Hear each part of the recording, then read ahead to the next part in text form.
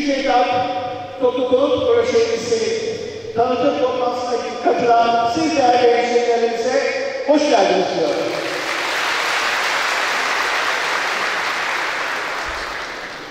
Çünkü benim halkım çağdaş, modern bir kentte yaşamayı hak ediyor. Çünkü benim halkım 1948 yılında ilçe olmuş ama yatırımlardan yeterli nasibini alamamış kendi fertleri. Onlara verdiğimiz evet. onların çağdaş modern bir kentte yaşaması için verdiğimiz uğraşlar, belediyemiz, meclis üyelerimiz, genel müşterilerimiz, belediye çalışanlarımızda verdiğimiz emek size helal olsun.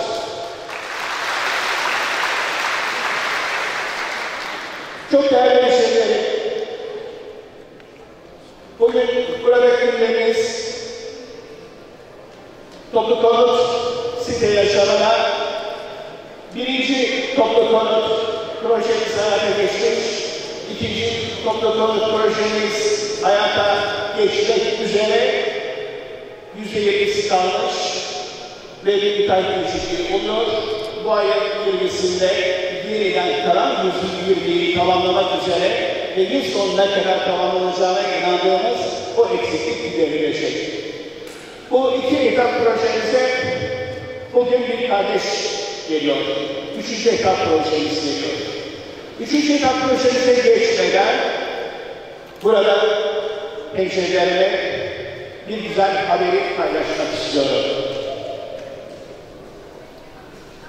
Seçim sürecinde halkımıza ne sözlerdiysek hepsini tek tek yerine getiriyoruz. Üzerinde, bütün çalışmalarımızın üzerinde önemseyerek ilerliyoruz. Medyada en önemli sorunlardan biri yol sorunuydu. Hedef koyduk, 20 ayda 50 bin metrekare yolu tamamladık. Dün yaptığımız meclis toplantımızda tek gündemle toplandı. Bu kenti karar yollarını tamamlamak için bir karar aldık. Meydanda çocuklarımız okula giderken ayakları çamur olduğu için.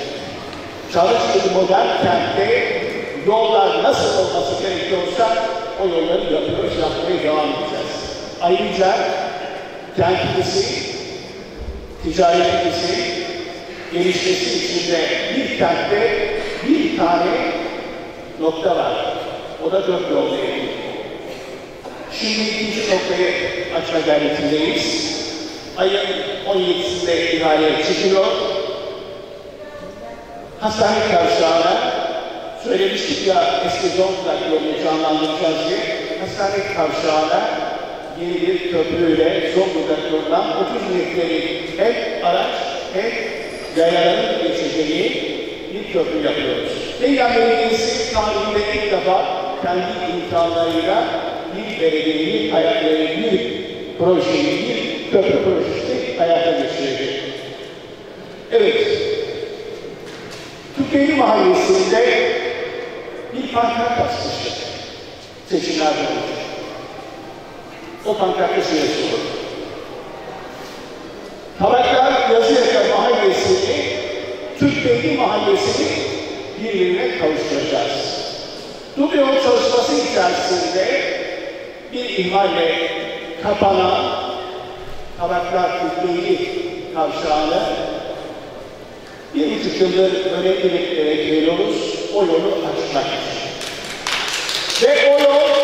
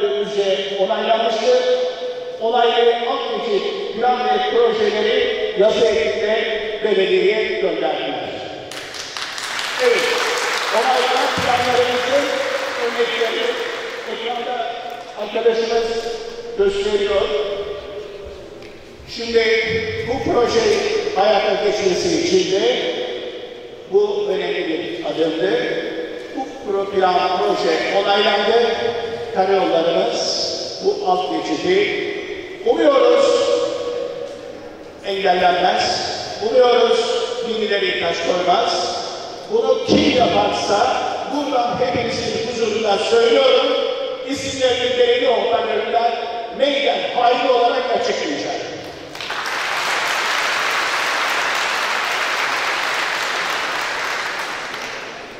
Çok değerli hemşehrilerim, bugün burada bir arada olmanın mutluluğunu üçüncü etap toplu konut projemizi hayata geçişinin ilk adımını sizlerle paylaşmanın gururuyla 3. etap Komdokor projeniz hayırlı olsun diyorum. Projemizin tanıtımını 3 yıl hazırlık yapmıştık. Ama bu projenin tanıtımına müsaade ederseniz toplum konut idaresi finansman dairesi başkanlığında sevgili Bülent Şerifoğlu Bey'e bırakmak istiyorum. Buyurun Bülent Bey.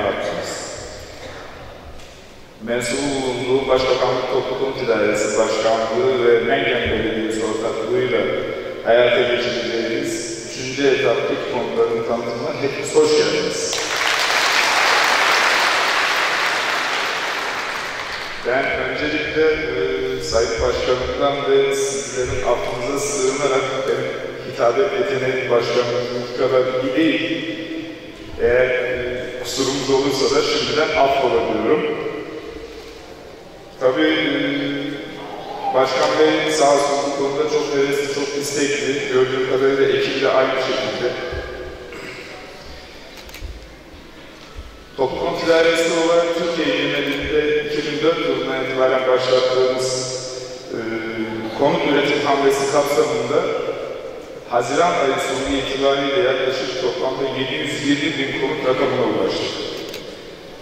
Türkiye genelinde. Bu 720 bin konuttan e, mengen olarak da payımıza düşeni hakkıyla e, yerine getiren başkana sahipsiniz. Tabii daha önceki yönetimlerde de e, uygun çalışılmış. O anlamda Öncelikle başkanımızı ve ekibini tebrik ediyorum. Sağ olsunlar. Bu konuda bizleri de rahatlatıyorlar. Birçok yükü de üzerimizden alıyorlar açıkçası. Proje kapsamında toplamda 252 adet konut üretmeyi planlıyoruz. Tabii başvuru durumuna göre bu sayı artabilir de azal, azalabilir de. Ee, alanımız müsait, e, yeteri kadar artırmaya yönelik yarışır arazimiz var. E, gerek altyapısıyla olsun, sosyal donatılarıyla olsun, her türlü hizmeti sağlayabilecek bir araziye sahibiz. Ben burada e, tanıtım aşamasıyla ilgili olarak daha önceki toplantılarımızdan örnek vererek söylüyorum, daha çok soru cevap şeklinde bir, bir e, iletişimimiz oluyor vatandaşlarla, halkla. Dilerseniz e, ben Başkan Bey'in yanına e, geçerek oradan dilerseniz soru cevap şeklinde kafamda takılan sorularla ilgili cevaplamaya çalışayım. Müsaadenizle. Bunun 156 tanesi B1 tipi dediğimiz 2 artı bir konutlar alt gelir grubu kapsamında. 96 tanesi ise C1 tipi 3 artı bir konutlar olarak imal edilmeyi planlıyoruz. Biraz önce dediğim gibi yani bu sayı başvuru durumuna göre artabilir, artabilir de azalabilir de. Biraz da sizin performansınıza bağlı. Burada yaptığımız yaklaşık bu vereceğim rakamlar tamamen tahmini rakamlardır. İhale sonrasında oluşabilecek kesin rakamlar değildir. Buna özellikle dikkat etmenizde fayda var. İki artı bir konutlarımız tahmini olarak 106 bin lira civarında oluyor, olabilir. Bu ihale sonrasında düşebilir de, fiyatları düşebilir. 3 artı 1 konutlarımız 156 bin lira civarında. Şimdilik planladığımız rakamlar bunlar. 3 ayrı alternatif şeklinde satış planlanıyor. 2 artı 1'ler için %12.5'in 180 ay vade, %15 peşin 216 ay vade, %20 peşin 240 ay vade. 3 artı 1'ler için %10 peşin 120 ay vade, %15 peşin 156 ay vade, %20 peşin 180 ay vade şeklinde planlamayı yaptık. Belediyemizin hazırladığı tanıtım broşürleri var. Bilmiyorum elinde geçti Orada zaten vaziyet planları ve e, kat planları ile ilgili gerekli bilgiler var. Bu aşamada kafanıza takılan, sormak istediğiniz, öğrenmek istediğiniz sorular varsa tek tek alabilirim. Cevaplamaya çalışacağım.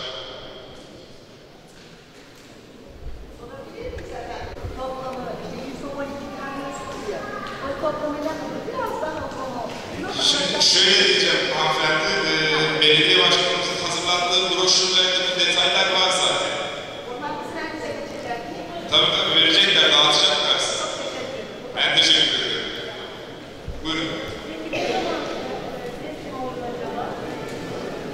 tabii ilk bir aylık süreçte başvuru işlemleri devam edecek. E, başvuru işlemleri yeterli sayıya ulaştıktan sonra da proje çalışmaları başlayacak. Nihai proje yani kesin proje çalışmaları başlayacak. İhale sürecinden sonra daha önce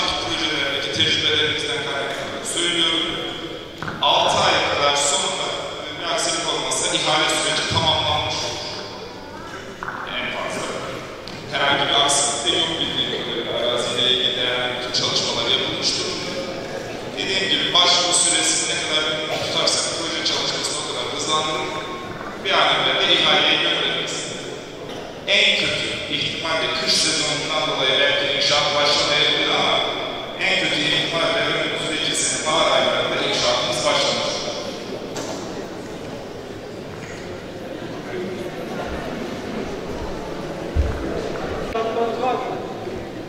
Yaptı anlamaz dışında şartlar var. Yok olmuyor şöyle bir miktar e, ee, fiyatlarında dışında şartlarımız var mı? Başvuru şartları ile şartlarımız var. Yani e, tabii onları evet e, bilmem. Proje kapsamında 2 artı 1 ve 3 artı 1'den oluşan konutlarımız var. 2 artı 1 konutlar alt konutu olarak geçiyor. Diğer 3 artı 1 konutlara nazaran doldurmanız gereken bazı evraklar e, ve yine belediyeye sunmanız gereken bazı evraklar var.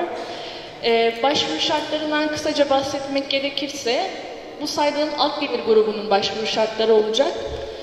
E, Türkiye Cumhuriyeti vatandaşı olması, Bolu il nüfusuna kayıtlı veya Mengen ilçesi sınırları içerisinde en az bir yıldan az olmamak şartıyla ikamet ediyor olması.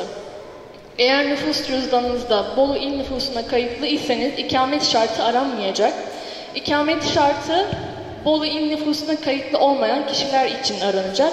Bolu nüfusuna kayıtlı olduğunuzda sizden herhangi bir ikamet belgesi istenmeyecek. Daha önce toplu konut idaresinden konut satın almamış ve toplu konut idaresinden konut kredisi kullanmamış olması şartı aranıyor. Kendisine, eşine, veya velayeti altındaki çocuklarına ait tapuda kayıtlı, kat irtifaklı veya kat mülkiyetli bağımsız bir bölümünün veya müstakil bir konutunun olmaması. Burada genelde şu tarz sorularla karşılaşıyoruz. Diyelim ki müstakil bir evi var ancak hissesi var. Ee, bunlar sayılmıyor. Burada önemli olan e, kat mülkiyeti veya kat irtifak kurulmuş bağımsız bir bölüme ait tapusunun olmaması gerekiyor başvuracak kişilerin ve içinin. 25 yaş ve üzerinde olması gerekmekte başvurulan kişinin. Aylık hane halk gelirinin en fazla 3200 lira olması şartı aranıyor. Ee, burada 3200 liraya içerisine dahil olan koşullar, başvuru sahibinin eşinin ve velayeti altındaki çocuklarının gıda, yol, her türlü aldıkları yardımlar dahil olmak üzere toplam hane halkı gelirinin aylık net en fazla 3200 lira olması gerekmektedir. En fazla 3200 lira olması gerekmektedir. Yani 3200'den fazla olmayacak, bunun altında olması gerekiyor. Bir hane halkı adına yani kişinin kendisi, eşi ve velayeti altındaki çocukları adına yalnızca bir adet başvuru yapılabilecek. Alt gelir grubu şartlarıyla yani 2 artı 1 konutlarla ilgili başvuru şartlarını sağlayan kişiler başvuru formunu doldurarak belediyeye başvuracak. Başvuru formunda ve sunduğu evraklar incelendikten sonra ve uygun görüldükten sonra bankaya 2000 lira başvuru bedeli yatacak. 2 artı bir konutlar için ve e, projeye başvurusu tamamlanmış olacak. E, 3 artı bir konutlar için e, baş, alt gelir grubu gibi başvuru şartları ve toplaması gereken çok fazla evrak yok. 3 artı 1 konutlar için e, tek bir şartımız var. O da kendisinin eşinin veya velayeti altındaki 18 yaşından küçük çocuklarının üzerine tapuya kayıtlı konutu olmadığını beyan eden ve daha önce idareden konut almamış e, olma şartını arayacağız yine belediye olarak. 3 artı 1 konutlar içinde e, eğer üzerinde ve çocukları üzerinde konutu yoksa yine e, bankaya 4 bin lira başvuru bedeli yatacak. E, bu bedeli yatırdıktan sonra da e, projeye kaydı yapılmış olacak. Evet, Hane Halkı adına bir başvuru olacak yine C1 konutlar içinde. Ee, başvuru formu, alt gelir grubu şartları ve diğer evrakların Mengen Belediyesi internet sitesinde bulabilirsiniz. Ee, ayrıca belediyeden de yine bizden de alabilirsiniz detaylı bilgiyi. Şu an için söyleyeceklerim bu kadar. Teşekkür ederim.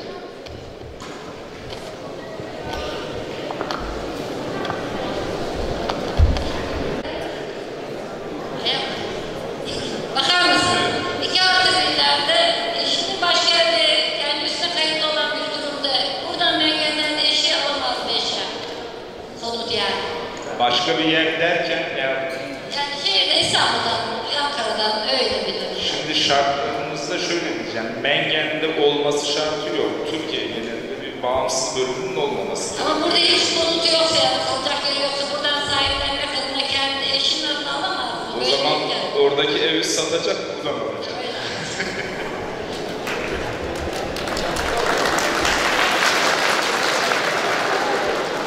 Şimdi şöyle diyeceğim hanımefendi, yani toplu konut idaresinin amacı şudur. Gerçekten ihtiyaç sahibi olanları konut sahibi edinmek. Bu anlamda e, birçok kişinin şehir dışında evi olabilir, şey olabilir. Biz burada ticari amaçlı bir üretim yapmıyoruz. hak sahibi olan, gerçekten ihtiyacı olanların konut almasını usul edindiğimiz için bu tip şeyleri de açıkçası söylemek gerekirse çok da müsamaha göstermiyoruz. Ee, durum bundan ibaret.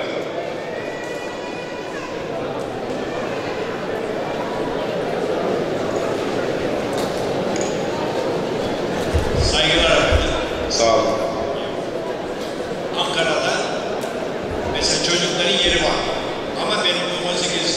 oturamıyorlar. Benim mescid yok. Köyde bir tane babadan bir var. Burada ben de herhangi bir sorun olabilir. Şimdi şöyle diyeceğim. Çocuklarınızın evi olması sizi bağlamaz. Çocuklarınız sonuçta 18 yaşından büyükler anladığım kadarıyla. Evet efendim. 18 yaşından büyüklerse zaten velayet altında değiller. Sizden bağımsız bir aile olmuşlar artık. Dolayısıyla onların evi sizi bağlamıyor. Siz müracaat edebilirsiniz. Teşekkür ederim. Köy eviyle alakalı olarak Kadmökiyeti kurulmuş tapusu olan bağımsız bölüm konutu olan müracaat edemiyor ama bunlarda köy evleri hariç köy evi olanlar müracaat edebiliyor. Köy evi. Köyde ondan sonra baba dede evleri. Köy köy evleri bu işin dışında köy evleri hariç. Ee, Teşekkür ederim. Bağımsız bölüm dediğim hisseli olmayacak. Şey, e, hisseli ise eğer müracaat edebilir.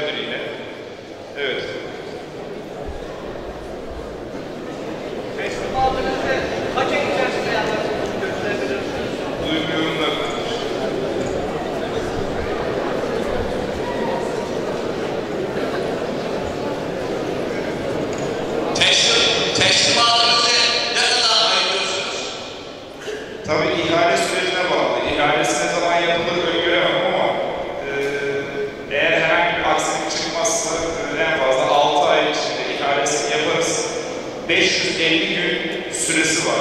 İhale yapıldıktan sonra firmanın bitirmek için 550 gün süresi var. 550 gün sonra ihaleden sonra 550 gün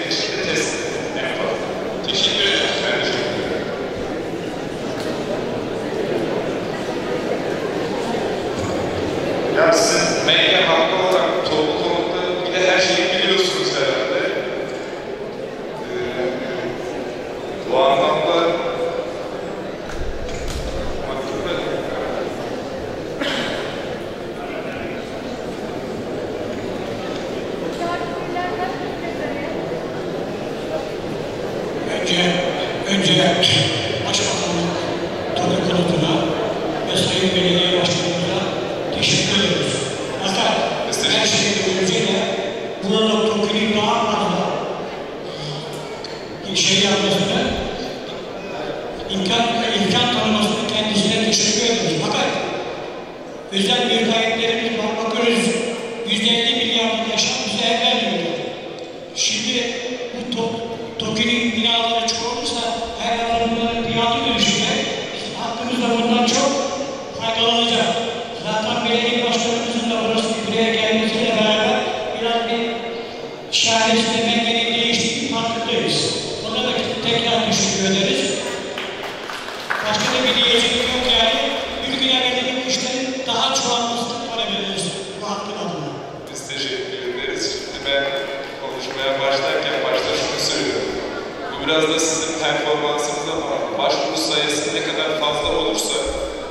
sayısı o orantıda artacak.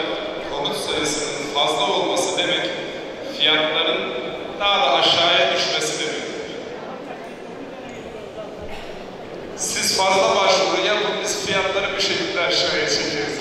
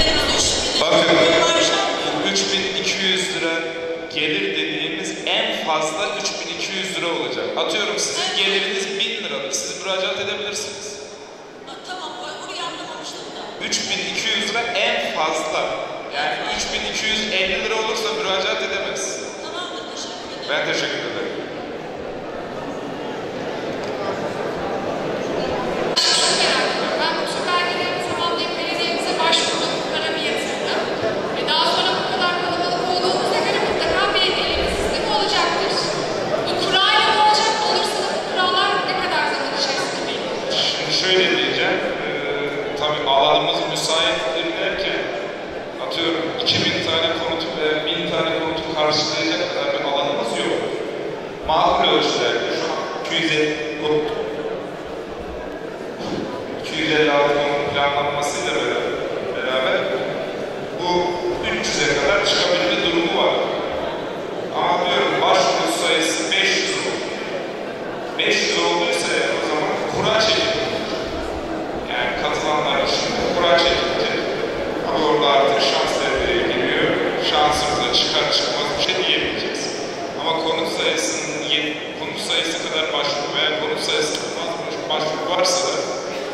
sadece kişilerin konutlarını belirliyor.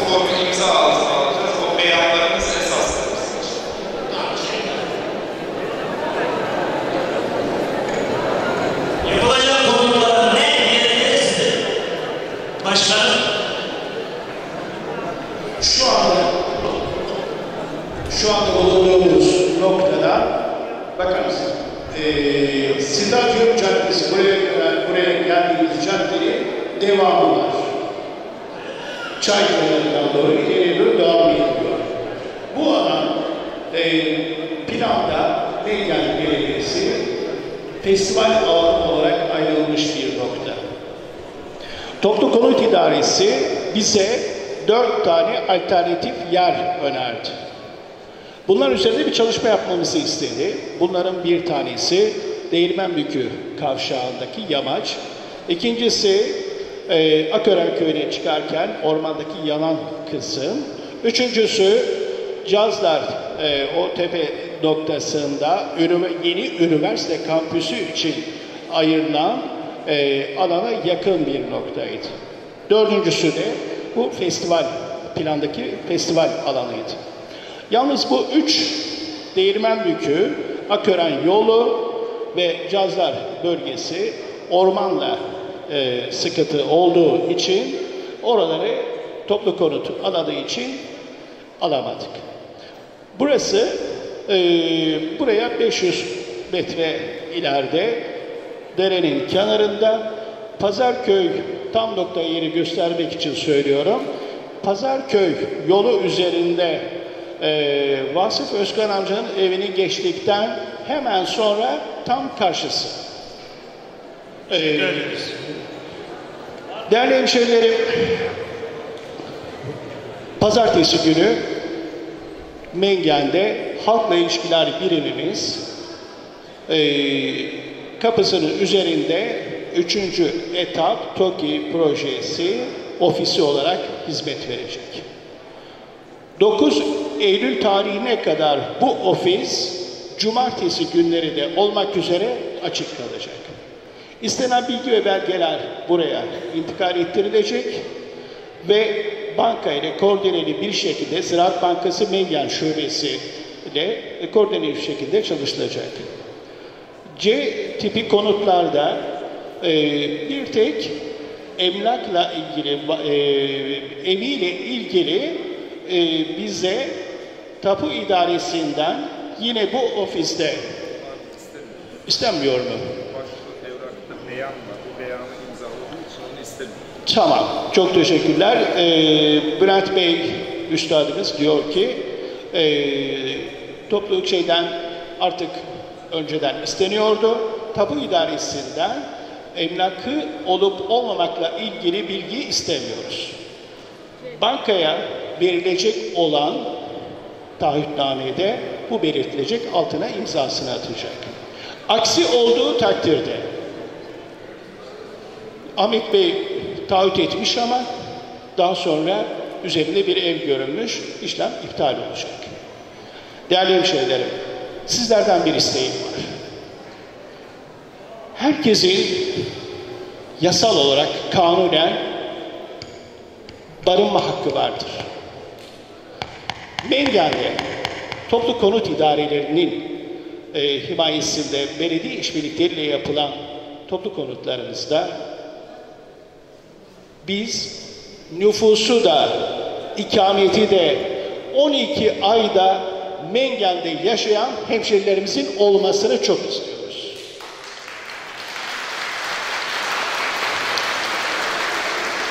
Bizim tabii ki kentlerde yaşayan, yurt dışında yaşayan hemşehrilerimiz, bizim hemşehrilerimiz.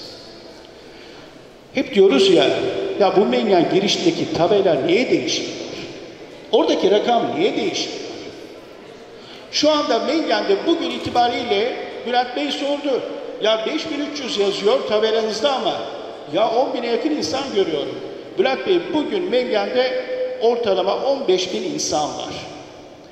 Ama belediyemize de o tabeladaki nüfusa göre ödenek geliyor.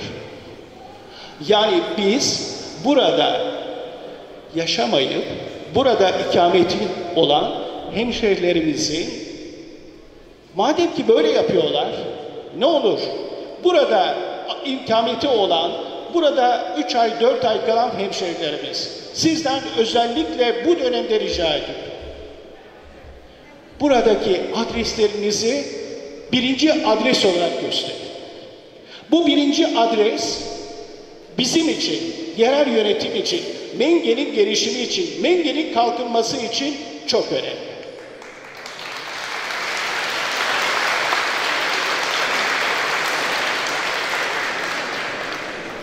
Burada bütün hemşehrilerimize biz yerel yönetim olarak ev sahipliği yaparız yapmaya, hizmete devam ederiz. Ama bu hemşehrilerimizin buradaki hizmetini ben yapıyorum belediye olarak. Biz yapıyoruz belediye olarak. Ama onun belediyeye katkısı İstanbul'da Kadıköy'de oturuyorsa Kadıköy'e gidiyor. Ankara'da Çankaya'da oturuyorsa Çankaya'ya gidiyor. Keçiören'de oturuyorsa Keçiören'e gidiyor. Mengen'e o hemşerimizin adına hiçbir şey gelmiyor. Burada oturup, burada yaşayıp, buradaki bizimle olan o 12 ay boyunca paylaştığımız çöpünü, yolunu, suyunu, kanalizasyonu, hizmetini burada ikameti olmayan hemşehrilerimize de gidiyor. Ayırt etmek mümkün değil. Ama biz artık Bengen'de ikinci adresleri değil, ikinci adresleri ne olur bu dönemde artık birinci adrese çevirelim ve bütün hemşehrilerimizin adreslerinde Mengen'deki ikametlik adreslerinin birinci adres olmasını istiyorum. Bu konuda ben hemşehrilerime güveniyorum. Güvenimizi, güvenimizi asla sarsmayacağınıza inanıyorum. Hepinize duyarlılığınızdan dolayı şimdiden teşekkür ediyorum.